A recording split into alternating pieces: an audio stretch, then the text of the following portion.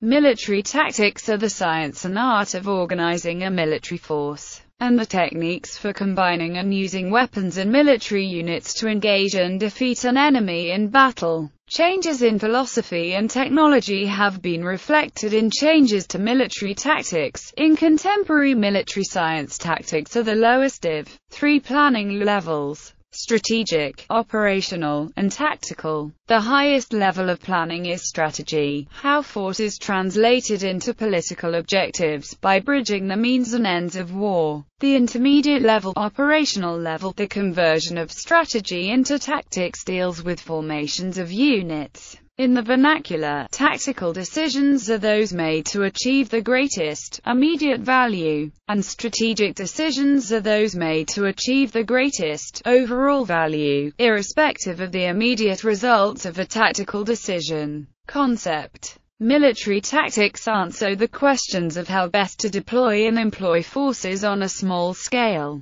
Some practices have not changed since the dawn of warfare. Ambushes, seeking and turning flanks, maintaining reconnaissance, creating and using obstacles in defenses, etc. Using ground to best advantage has not changed much either. Heights, rivers, swamps, passes, choke points, and natural cover can all be used in multiple ways. Before the 19th century, many military tactics were confined to battlefield concerns. How to maneuver units during combat in open terrain. Nowadays, specialized tactics exist for many situations, for example for securing a room in a building. What changes constantly is the technological dimension, as well as the sociology of combatants.